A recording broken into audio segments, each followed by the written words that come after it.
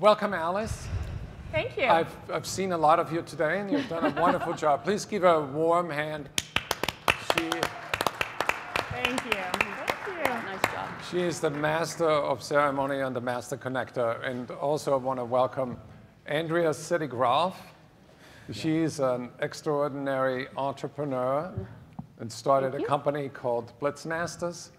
And uh, I'm not supposed to tell you this, but she also sings. Oh, That's, that's an amazing talent. She was actually about six years ago in Las Vegas, and we were at the Four Seasons, and I asked her to be on stage and sing a song, and she did, and she blew everybody away. I'm not going to ask you today. yeah, thank you. And we have uh, Bill Wallace. Tell us about yourself. I'm a um, vice president with Revenue Storm consulting company, and I, uh, I'm a corporate refugee from a company called MCI after 16 years. And I realized after being a really, really bad corporate guy that I was really more of an entrepreneur. So I started a couple software companies, and I, I stopped doing that in 2007 and, and joined this company, and I've been working with clients around the world. So it's been a great adventure. Okay, uh, everybody's going to get 10 seconds. How do you define sales enablement? How do I define sales enablement? Well, for me, and we've talked about this before, it's just everything that enables our sales teams to do a better job than they're doing today. So it can be technology, it can be training, it can be coaching, but it's all the things that really get our sales team to peak performance. Thank you, Andrea. I would say um, empowering them with the skills, tools, and knowledge they need to continue uh, behavior moving forward. So maybe you, you give them a skill, you teach them, you know, you give them that knowledge. Maybe you only do it one time, but if you teach them sort of how to fish on their own, then they can continue uh, the behavior moving forward once they've proven the results to themselves. Thank you, Bill. I'd say equipping, but it's equipping specific people with specific things at specific times. All right, now I'd like to ask the audience with a show of hands. In your company, when it comes to sales enablement, is that reporting to sales? Raise your hand. Okay. How many? About 10? Mm, a little more than that, maybe about. And marketing, Very small. couple. very few. Okay. Um, you have worked with a lot of companies. Uh, what is your experience? Uh, should sales enablement report to marketing or sales or both? Or I think the more that sales enablement is aligned and working in conjunction with sales leadership, the better it's going to be. I also believe that there needs to be a tight line between sales and marketing, but I think the more that it's geared to the actual sales functional channel, I think it's going to be more successful. Now, Alice, when it comes to sales enablement, what comes to my mind first is content. And you talked about all the content that salespeople need in order to be more effective.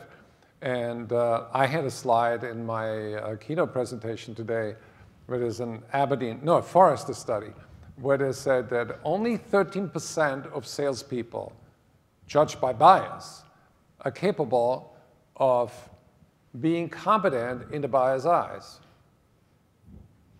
So it seems that 77% of salespeople out there cannot Yeah. help the buyer so that the buyer says, this is a competent sales rep. So how do you design content that makes salespeople look smart and feel good? Yeah.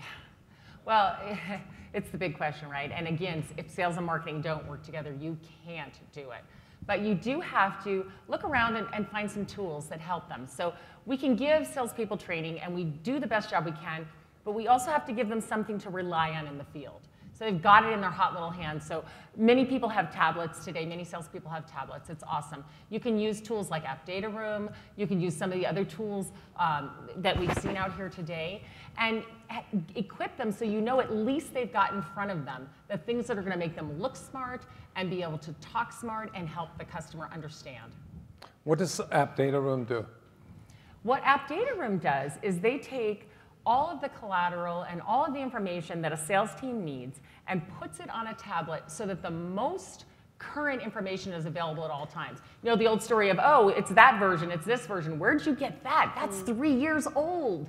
You know, when you have salespeople out there with dispersed information and, and it's the wrong information or it hasn't, you know, hasn't been approved. I, I love salespeople who go out and make their own PowerPoints and decide they're going to use them. So in this way, marketing can work with sales to decide what information needs to be in front of the salesperson and get it all in one place and be in control of making sure the most current version is available on the tablet for the salesperson. Got it. Yeah. So, Andrea, you address more the top of the funnel. And uh, we talk about sales and marketing alignment. What are the disconnects that you see in companies when it comes to the top of the funnel? Well, a lot of what I see, uh, and this is actually a part of, you know, aside from what I do as a, a prospecting um, expert, um, is often the salespeople aren't incented at the right part of the sales process. You'll see them being paid maybe at the end once the company collects funds from the client. Well, now you have a really expensive collections agent instead of a salesperson. You really want to be, you know, motivating and incenting that salesperson to make the sale and then pay them and then you transition that customer to a project manager, and then if you have need collections, and you hire people to do that. But that was one of the biggest disconnects that I've, that I've seen just in some of the clients that I work with is paying people at the wrong point in the process. So, you know, when you pay them, you're motivating behavior. And so if you pay me when I make the sale, that frees me up to go and make the next sale, which is what you want a salesperson to do. If you pay me at the end of the process, once you as a company have collected the money, well, now you can bet I'm going to be on that phone trying to collect the money from the client, and that's not the best use of my time. You see the disconnect in a different area, the way I look at your face. Where's the That's, big that's my poker face. Let, Yeah. us let's talk about the elephant in the room. Where's the big disconnect? With sales and marketing? No, with sales enablement. So I want to go, um, I think I might answer that question with the question you asked originally, Go right? ahead. And, and so I have a little bit of a different spin, but I don't think anybody in the panel would disagree with that. And that is, and this might sting a little bit, and I apologize, but it needs to be said. I think we send too many people out with our point of view about their business. And, and let me say a little bit more about that. I think that we have a lot of people sharing information but not sharing insight. I think we have a lot of people visiting with prospects who don't know much about their business or much about their role. And I think this is much more of an insight business. I think business acumen is going to be a really prized competency in the next couple of years, and I think it's going to be a big bifurcation in, in sales. I think it's going to be absolutely critical. And, and I want to add one other thing. Marketing, with all good intentions, equips or arms the sales force sometimes with the wrong stuff. And I'll give you an example. Um, and, I, and I've talked to clients around the world about this. Without even seeing a lot of the presentations, I can almost guarantee you that the average presentation that a lot of people take out to see a sales or a prospect with, probably 20 pages. 20 pages. And the first six slides are all about you.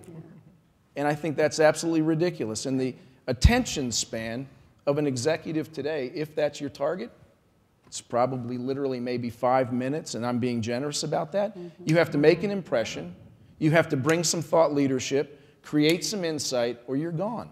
Yeah. And I think if you're going to spend the time, the precious time you have, talking about yourself, you're, you're, you're already, you've done them a disservice. And by the way, you get one shot, one shot, and you won't get a second one. So I wanted to just throw that out there. I think you guys would agree. Yeah, Yeah, yeah, yeah. absolutely. Yeah, the Well, gap. there, there are actually, uh, in my mind, two kinds of bias. Um, you know, if you believe all the statistics, um, 80% of the sales process happens online and not while the salesperson is there. So that's one kind of buyer, which is the educated buyer. But on the other end of the spectrum, there is the person who always is curious on how to improve business. So when the salesperson connects with that person, it's a different situation because the buyer is not even educated in what they're looking for. So we are moving from, and your company is sort of the leader, from demand ca- capture to demand creation. I absolutely agree with that. So the, the question is, how do you create uh, sales enablement and execute so that you satisfy both fields. The salesperson who is in front of a customer that's educated, and what are the 20 top, the 20% of the, the gap that you have? The buyer has 80%. What is, are the 20%? What does that represent? What does that mean to the salesperson? What do they need to deliver in that case? And how can they shift from completing the buyer's information uh, when they make the next call on a buyer who does not even know how to shop? Is that to me? That's to you, right? Or you get all the Okay, softball no, no, no. It's, questions. it's, it's a great question, right? I I think it's a great question, and I think I would I would liken it almost to languages, right? So one person may be speaking a language in the area of a transaction, right? And and so they might be more of a transactional buyer. And the issue there is, in my opinion, rather than spout text specs and pricing, right? Fairly transactional is to take them to a place where I can now educate them on the application of whatever it is I'm selling on how it can affect their internal metrics or their external metrics with their, with their clients, their revenue, their margin. It's a matter of translation to them. I, I see a lot of that, so you have to speak that language. The second language is what, what really true thought leadership is all about. I'm not even aware that I have a problem. I'm not even aware I have an opportunity. And that's where true thought leadership comes into play. How do I equip that to happen? We see it all the time. And that's where marketing does a lot of in depth research on either the industry or that particular company, that particular title, CFOs versus sales VPs, whatever, and literally bring something that's timely, relevant, in the news. It's something, I'll, I'll, let's call it an accelerating trend. And let's take that and bring it down to the application of a service or a product. But it's designed to take them out of their world and to get them thinking differently about what's going on around them. Right? If you can do that and you can make a connection between, you know, here's what's going on and here's where I can help you either exploit that opportunity or I can help you from from incurring that liability, I think that's the way I deal with the second piece. I don't know if that makes, is that clear? Well, I, I think that uh, there are another two ways to look at it. One is you can program people to ser- say certain things and share certain things with certain customers. And there's the buying persona, and there are the different levels of, That's uh, right. of maturation in terms of understanding. You know, so you, you have sort of a ma- matrix that you can follow. But I think that a lot of salespeople lack the internal flexibility to push all this aside and just listen to the customer. So I think sales, sales enablement is related to self enablement. So if I Okay. enable myself and say, I suspend all preoccupation with my sale right now, and I just want to listen to Andrea, what are her major concerns? Right.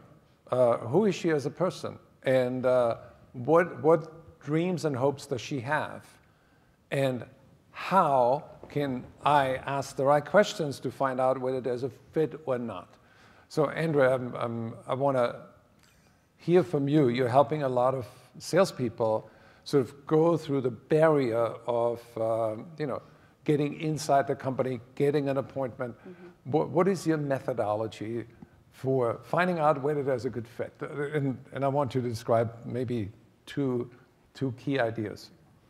Uh, Are you talking specifically about gatekeepers and that, that right. issue of? How do I get through the gatekeeper? Then, secondly, how do I know that there's a fit where it's worth my time uh, so I can invest in that relationship? Yeah, you've got to ask a lot of a lot of great questions. Well, on the gatekeeper piece, I, I'm a very tactical and practical kind of person. You know, I know a lot of what we've talked about is strategy, you know, right, which is way up here, and what Blitzmasters does is very tactical and practical. So I'll just share a couple of tips around the whole gatekeeper piece. So one of the things we talk about is um, the thing that with gatekeepers that can be a little dangerous when you're dealing with them is that they can tell you no, but they can't tell you yes. So you want to sort of get past them, and the way that you can do that is that when the gatekeeper answers the phone, you ask for the sales department, or you ask for HR, or you ask for the help desk. The gatekeeper's been told on the first day of, of being you know, employed at that company, whatever you do, don't let a salesperson in here. That's their job, is to not let you in. But the people at HR or you know the help desk or the sales department never got that message. They're more likely to help. So if you go immediately to that other department and then ask for who you'd like to speak with, you're more likely to get the call transferred. Also, for the person receiving that decision maker now receiving that call, it's coming from an inside line and not necessarily the front desk. So they're more likely to, to pick it up. Um, also, calling before 8, 8 a.m. and after 5 p.m. is a good time to reach decision makers because the gatekeepers have gone home. The decision makers are, are typically there. And so you can often have a more sort of relaxed conversation at that time too because they're, it's before the day has started or now the day's ended. Uh, maybe they have a little more time to you know, have that conversation. So let's say you get through the decision maker, you have that conversation. How do you lead a conversation when you don't know how much time you got and you don't know what's, what their mindset is in the moment? And how do you go to that uh, crucial conversation to find out whether there's a fit? Well, I'm, I'm all about face to face meetings. If at all possible, I really like to get in front of people. So I make that first call very much about getting the appointment, whether it be, I mean, in some cases, uh, for some folks, it might be a conference call or it may be a face to face, but I think it's a little, um, what's the word? You're assuming an awful lot to say, I'm going to call this person and take 15 or 20 minutes of their time right now. So in some ways, I almost think it's more polite to just simply ask for the appointment to have a conversation at a later date, either a face-to-face or a conference call. And I think people like that, that you respect their time and that you're asking for, I understand you're busy and I'm asking for 15, 20, 30 minutes, however much, at a later date when we can have a, a more in-depth conversation. Of course, the idea is that you've done a little bit of homework ahead of time, so you already know to some degree that this person is a prospect. Exactly. Before you even make that call, right? And you've probably used the internet to help you. Right. You've probably been on LinkedIn, Right. or LinkedIn, Twitter, right. and you, you know, you actually know something about them. Right, and try to find some common ground. That's, that's great if you've got a common connection in LinkedIn, for Right. example. So Alice, is social selling part of sales enablement? Well, in my opinion, absolutely yes. But you know, I always say this: show up online as you show up in person. Mm. It's not two different things. It's not two different places. It's not oh, some place I'll show up if I have a little time. As a salesperson, as a business owner, you need to show up, be present, be authentic, show people that you care, and get to know them because that's what's going to what make the difference. It's going to let the, allow them to refer you. It's going to allow them to connect you with other people that they know. It's going to make them want to buy from you when they need what you have, even though they may not need it right now, or tell others to do the same, or maybe they'll collaborate with you in some way. But if people keep thinking of online as something else, something over there, something I don't need to do because, oh, you know, well, your audience is there. There's over 300 million people on LinkedIn. Your audience is there. And you need to talk to your audience wherever they want to talk to you. So you've got to ask them, where are they? Where are they showing up? Where do they want to talk to you? And talk to them that way. And you've got to be real, be authentic, right? And care about other people. I mean, that's really what it is about in the world today. The transactional sale, yeah, there's still some space for that, but it's really about a relationship because it should be so much more than I met you and I'm going to sell something to you. It should be I met you and we're going to see what we can do together. How can we collaborate? And maybe we will do business together. But maybe you end up being my best referral source or I'll hire you or who knows. Keep your mind open to all the possibilities.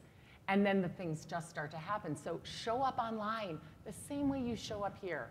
So, uh, number one rule is you need to be found. Let's ask the audience, um, show of hands, how many of you in the last 30 days have typed in your name at Google and see what comes up? Yeah, I have. Awesome. Yeah.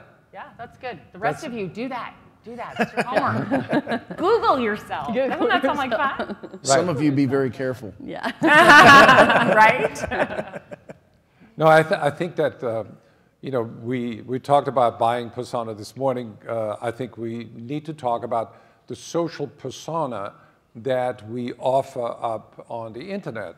So, what does our LinkedIn profile look like? Uh, what do we tweet? Uh, what does our Facebook page look like? Because buyers will um, you know, check you out. I'll give you one example. We just hired um, somebody in our creative department, and uh, we looked at the resumes, and I was looking at the top three choices. I did just glance at the resume, but then I typed in Alice Hieman, let's say, and checked out the first candidate. And I wanted to know what does Alice tweet about? I wanted to know the character of the person. I want to know the interest. I wanted to know who is she as a person? Uh, because the resume is something old school. Yes. Nobody pays attention to resumes anymore. You want to know who that person is. So, self sales enablement is about self enablement. Let's talk about the leadership role. What should sales managers do? And you work with a lot of smaller companies. How should sales leaders or CEOs think about sales enablement and make it happen so that salespeople are not only equipped to, to um, give the prospect all the answers they need, but also to cut down the amount of work that they're doing in educating the customer. Right. Well, I think it's, it starts with the customer.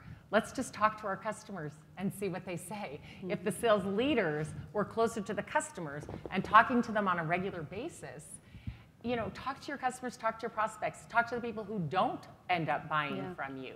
What do they have to say about you? What, what do they want to know? What other things do you, do you need from the customer? Then you can make the salesperson's job easier. And as, as a small business owner, with many of, that I work with, they are the salesperson or at least one of the salespeople, and they're managing their sales team as well.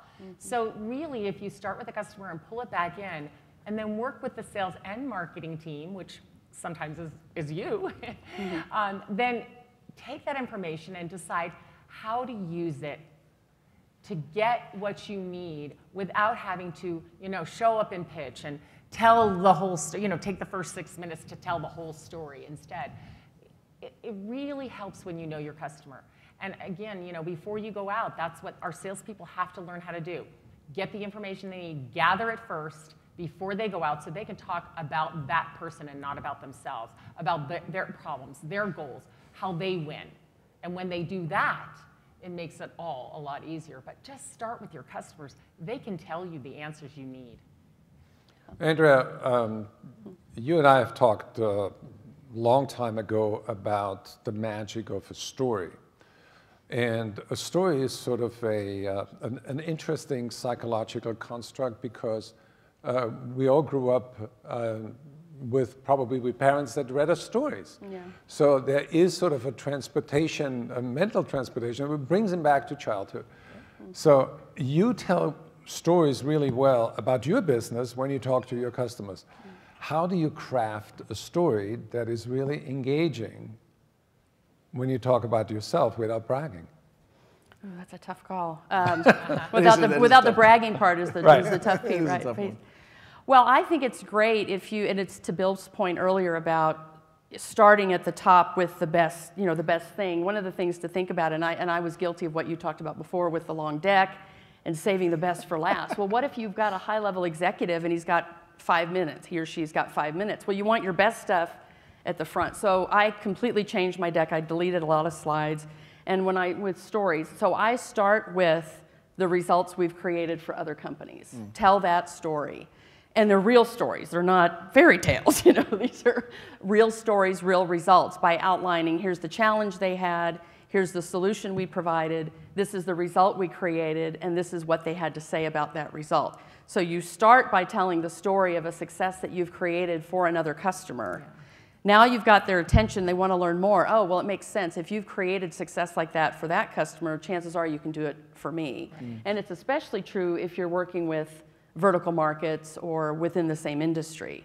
So um, we've done a lot with HP, for example, and, and let's say I want to do some work with Dell. So in, in calling Dell, they might be interested to know a little bit about the work we've done with HP, just because that's a competitor, and it sort of stands to reason that if we'd created success for HP and, and your market, we know your market, we know your industry, then it stands to reason that we're also going to be able to create results for you. So finding the common ground of that story you're telling about a current customer and the results you've created and that prospect. So if it's a big customer, share a story of a, of a big, if it's a big prospect, share a story of a big customer. If it's um, a small prospect, share the story of a small customer and so on. Uh, tell that story so that they are, they are able to make that, that connection. Thank you. Um, Bill, let's, let's talk about training. How can we enable salespeople in a way that they have the equipment, the reflexes, the, um, the savvy, uh, the skills to deal with a different spectrum of customers. Customers change constantly. And uh, you not only have different industry segments, but also you have the millennials, you have the older generation. And how do you teach salespeople to achieve that bandwidth that they're comfortable talking with anybody? Wow, man, that's a really tough question. That's kind of like teaching somebody to make friends, right? I mean, it's a little bit tough. Um, Right. Okay, so I'm going to give an idea out, and then I want to give you my opinion about how I think training could be more effective, and I've spent some time in that rank, in those ranks as well. So I was actually listening to the to the commentary from you guys, and it just struck me. I went, "Wow, why wouldn't you take a new salesperson and before you do anything, right? I mean, you can expose them to the culture and those types of things and whatever. Why wouldn't you have that person have a list of maybe 10 current customers, people that have bought from you and said, you know what, here's what I want you to do. Here are five questions, and I want you to go in, and you're not selling anything. In fact, it's going to be a dual ed, it's going to be a dual benefit, right? I want you to interview these, these customers. Why did you buy from us? What did you like best? Where have we where would you like to see us improve, right? And, and I'm just thinking to myself, first of all, the company would get remarkable benefit back from that because it's it's great testimonial. And the other thing is the person has, to your story point, mm-hmm. instant credibility in, in stories, right? I talked to this person, I talked to that person, I talked, and, and I don't think that you could do better training that. Here's where I think training falls short. This is, you know, again, a fairly pointed opinion, right? But that's what you paid for. Uh, and that is that I think training tries to do too much. I think it tries to do too much. I think we try to jam things at people and we do it in a short, I got a week with this person. And I'm going to give you everything that you could possibly not need, right? Because at, at the end of the day, there's only certain things that this person needs to know. The rest of it is nice to have. The other thing is, I think onboarding starts before they join the company. Why couldn't they watch videos? Mm. Why couldn't they why couldn't they gain access to some of the technology? Why can't they do some of that stuff, you know, in their own hours and whatever they need to do prior to coming on board so they're ready to roll? But rather than going through five days of eight o'clock in the morning until five o'clock or six o'clock in the evening, where I'm just having you drink through a fire hose, I think that's ridiculous. Because I know me personally, I won't remember half of that mm, stuff. But if I can remember these pieces, I'm going to be effective. The other thing is, I really, I get really upset about this. Leaders in sales, right? And I'm going to, if anybody's in here, just hear me out. Leaders in sales tend to outsource the training of their people. And I think that's wrong. I think that's absolutely wrong. As a leader, you're responsible for the development and the success of these people. They came to you and they said, hey, man, I, am going to give you my life, my income, etc. I, I want you to prepare me. And I think a leader will always be on top of their training, always debriefing, always working with them, always filling in the gaps, etc. So obviously, I must have said something that No, no, we're all just materialized feel like we should have So, so I think that there, there, there sometimes is a disconnect between leadership and the training activity. I'll outsource them to sales enablement, let them do what they need to do, and then when I get them, I'll work with them. I, I just think that's a travesty. I don't know. That was a long rant. I hope that answered You your know, one of the things you said that really struck me, I, I love the idea of just sending them out, you know, get your customers set up, say, hey, do you mind? I'm going to send some salespeople out to interview you, their training. It'd be great if your customers will help you do that. I think a lot of them really will. But, you know, earlier we listened to um, Leon. Leon, are you still here? He was talking about the power of the story, right? And of course, you were just talking about the power of the story. We love stories. Now these salespeople are equipped Yep. with stories to tell. Yeah. What about even so they're they're new and they're out there fumbling with these customers, but they've got good stories at least. And I think a story can save you. Yep. So if they're go out there just you know with good intentions to ask good questions and tell some stories, I think that will take them a lot farther than here's your pitch, go out and pitch it. Right. You know what else happens when you have those interviews um, with customers, in addition to getting testimonials that you can then share with your prospects? Something that happened with me, because I've actually done that, is we ended up creating virtual blitz programs because customers said, we're, we're not interested in on-site. You know, the, the trend is that people are doing this online, you know, training, virtual training, and now we even have an on-demand training. And I wouldn't have, ooh, I wouldn't have thought of, I wouldn't have thought of that, you know, had my customer not said, you know, we really love the content, can you deliver it in a virtual format? I was like, what does that look like? I would have never considered that. And so uh, I took that idea and we continued to interview more customers and got enough people that said, yeah, if you build it, we will buy. Um, so we put that program together. And what's interesting is several years ago, 70% of my business was our on-site program and 30% was virtual. That has switched. It's now 70% virtual, 30% on-site. So, you know, what does that tell me? I just say thank, thank God that I, you know, we thought to do this virtual thing because I, the on-site is eventually probably going to be obsolete. But it makes so much sense because salespeople need ongoing training. Right. They don't need one training. And mm-hmm. so if they, you have it virtually, they can repeat it and repeat it and repeat it and repeat it. And instead of then letting them flail miserably, they can go get the information themselves because it's right there. Oh yeah, Yeah. I've got that piece that Andrea taught me about how to get past the gatekeeper. Let me watch that again. Right. Yeah. I definitely share that trend. I see that same trend of asynchronous learning. And the future, my future vision is really when you are in the lobby and uh, you need to renegotiate a contract with a, with a customer and just go on your iPad and uh, tap into negotiation and get a, um, you know, just a two minute clip, a reminder. Here are the five questions you want to ask and take it into the customer. Because a l- the, the thing that we are forgetting about learning is that we are forgetting. Right. yeah, That's right. That's right. Well, and it always strikes me too. In sports and in many other things, we practice, practice, practice. And even, you know, a batter with a really high RBI will still get up the next day and practice. And Right. yet we don't expect the same from our salespeople. We have to get them to Yeah, practice. but the, the analogy is not complete because uh, in sports, they play the same game with the same rules over and over. Uh, and in sales, It's not. the customers don't have the playbook that we are working with, right? Too bad. But that, all the more reason we have to practice even Right, more. right. Because we have to practice our agility. We have to practice bringing insights to Right, people. We have to practice, you know, using all the sales enablement that's out there in the Right. exhibit hall. So many great tools that we can use and help our salespeople practice. And that's why uh, some in, we're in Las Vegas and uh, we're in the entertainment industry. And in Chicago, you have Second City. And the Second City is actually training uh, people from corporations on how to use improvisational theater techniques to do better in sales. And it's just one thing. You know, let's, let's say I make up something and I pretend I'm a, I'm a rabbi and uh, I'm, um, you know, I forgot my circumcision kit. Uh, Alice, how do you deal with that? You know, you, Oh, hang on. I, I, I thought he was going to ask you for a circumcision kit. I- right, Yeah, I have one in my purse. right. So you want to deal with the unexpected. I just made that up. but the transition thing is always the word and. You never say but. You never say however.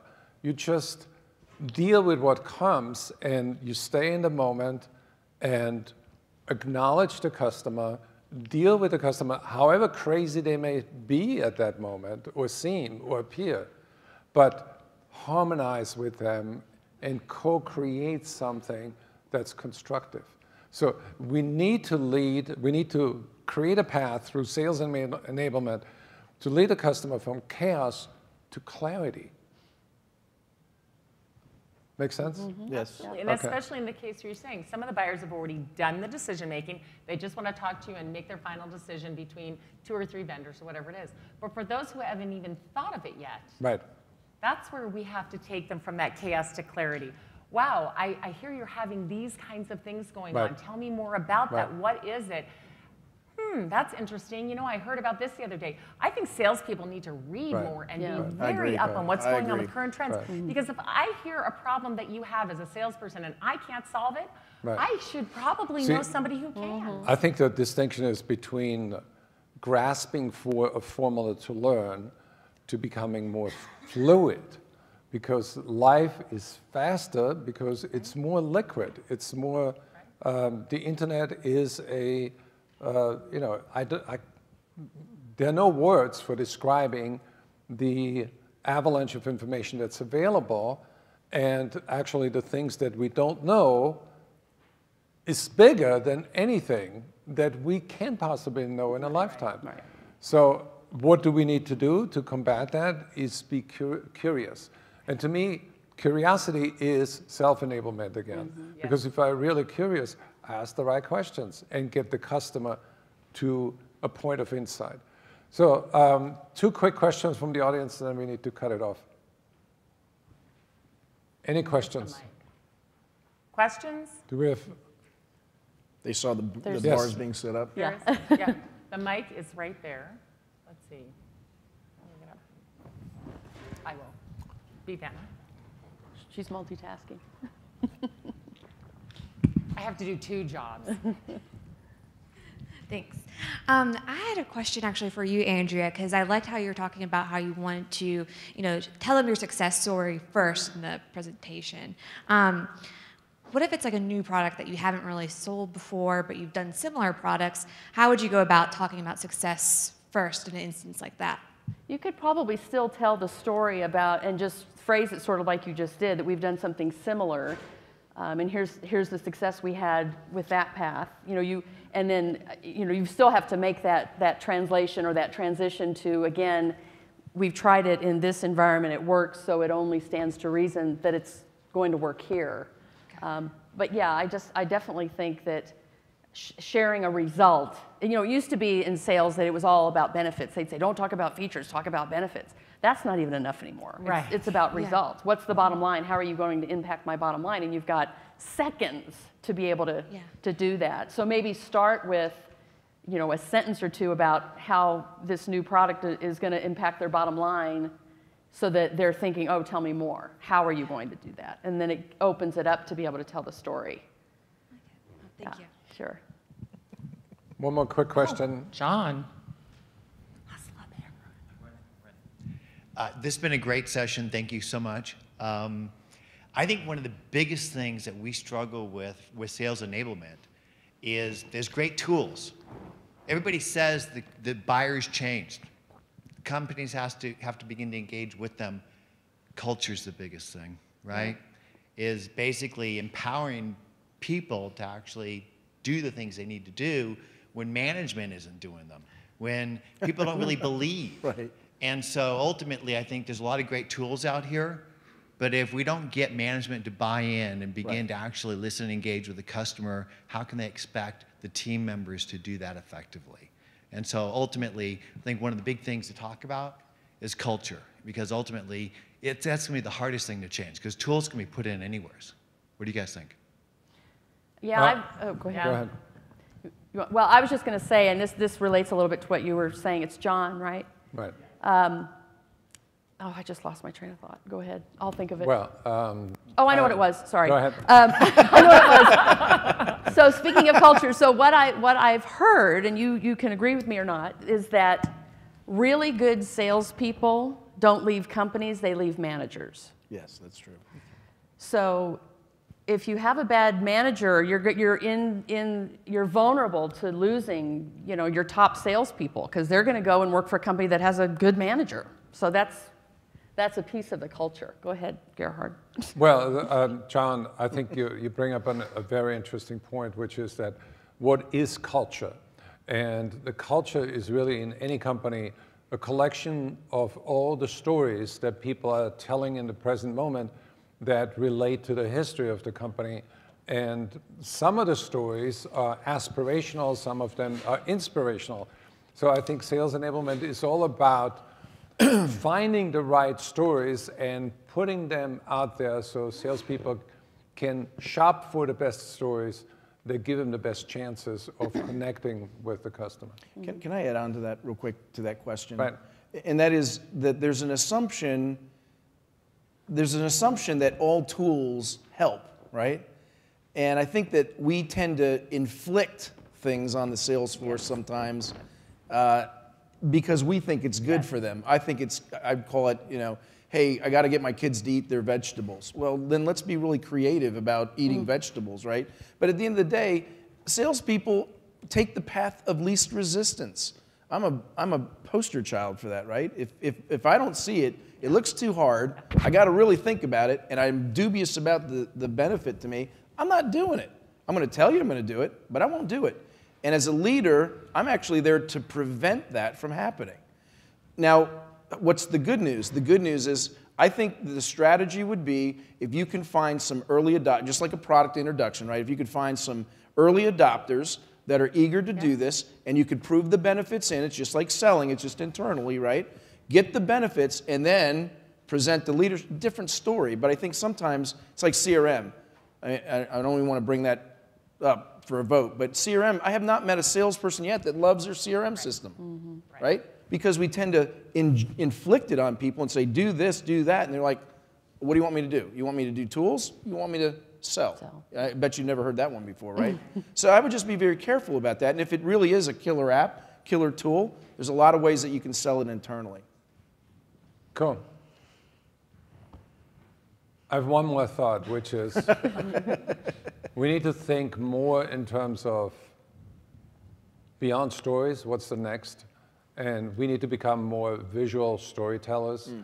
I think the ABC doesn't serve us anymore. I think Gutenberg, uh, God rest his soul, he did a wonderful thing in, in printing things. I don't believe in print anymore. That's why we have selling power online with videos. And we had the greatest success in educating people with video. And uh, Andrea is a prime example um, with uh, Lightspeed VT training and Selling Power University. Um, people want to see things and not just have the left brain engaged, but also see the person and feel that content and make it part of their own and give them a choice. Give them a big hand. Thank you very much. Hey, Gerhard, thanks very much. I appreciate it. Thank you.